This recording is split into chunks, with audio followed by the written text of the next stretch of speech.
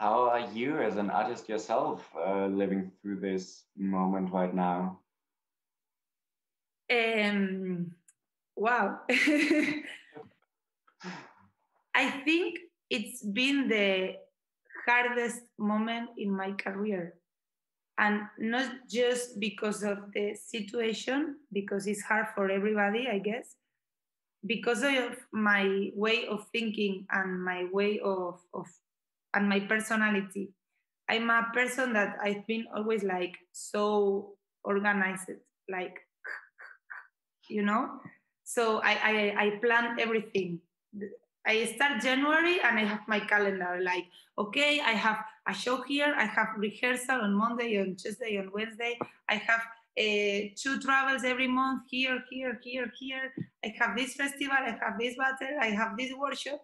And when you see all your plans like out, like suddenly, and you can plan everything, for me, it's been like um, personal uh, hard work you know to to change my mind and to learn okay maybe it's not just everything about plan your life.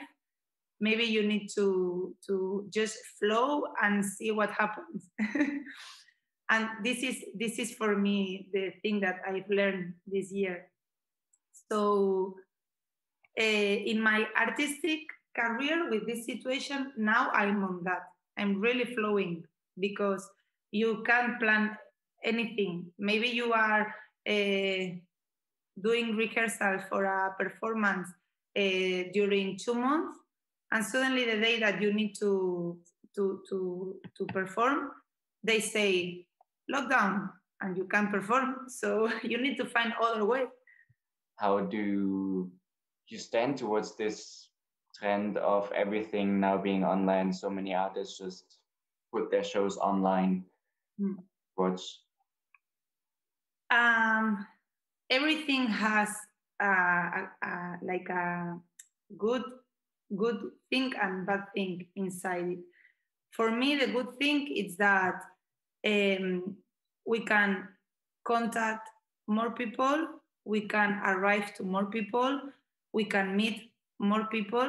For example, in the during the lockdown, I dance with people from India, I dance with people from Latin America, and there's something that maybe if, if it wasn't online, it, it, it wouldn't happen.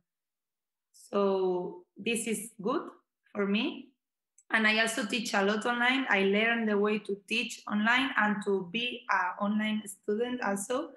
And this is really easy because I can say, okay, I like this teacher in and he is in France or he's in or she is in Norway, okay, you can just put your computer on and you are there. But also, I think that it's important to don't forget that we need the human contact. Mm.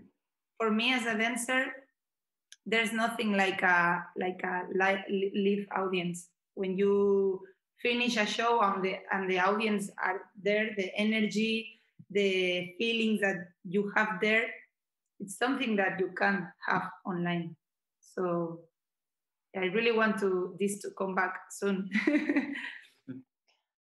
Welcome to Capta laVie, where we feature new artists every Friday and new artist interviews every Sunday. Don't forget to subscribe to our channel to not miss out on any future content.